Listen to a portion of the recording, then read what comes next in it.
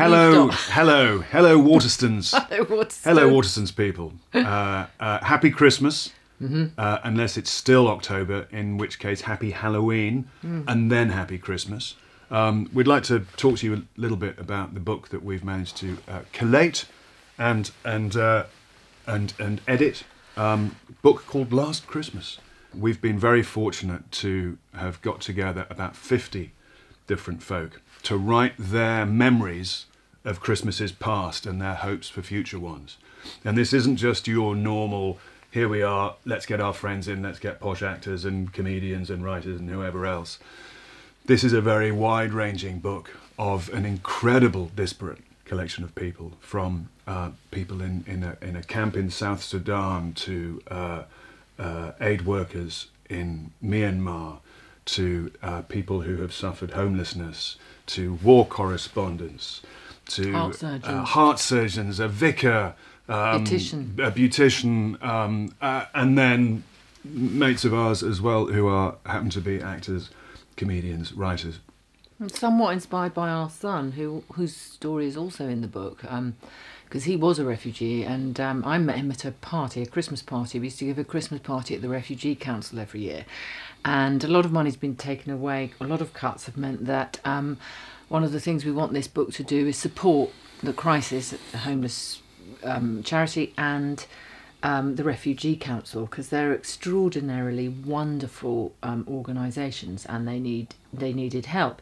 But meeting our son Tindy at this party was so um, particular and poignant because, of course, the Christmas story is the story of refugees. It's a family who can't find anywhere to stay um, and who are finally find shelter in a very humble place and so I think we, I certainly find that the whole shebang about Christmas, all the razzmatazz about Christmas and buying and this, the kind of psychosis of it, I find that very depressing actually. Um, so I, I really wanted to make something that brings us back to what it really is about. Um, And, and what's glorious is that anyone from any part of the world, we all just want the same thing. Mm. We want hope, we want care, we want love.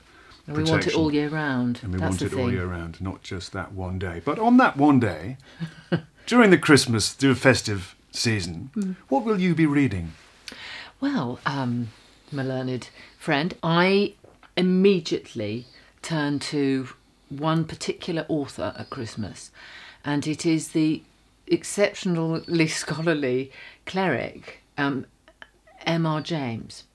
Uh, who wrote the best ghost stories ever written, ever written. I love ghost stories, and I start reading them around November, and then in December I'm allowed to move on to my favourites. Um, M.R. James just was an incredible writer. He just wrote these things. A bit like Chekhov, really. I mean, who was a doctor writing plays for his mates, uh, in a way. Um, M.R. James just wrote these stories which are remarkable. That's who I pick up immediately. And you know that I'll be perfectly happy in front of the fire with my collected stories of M.R. James and a glass of something cheering.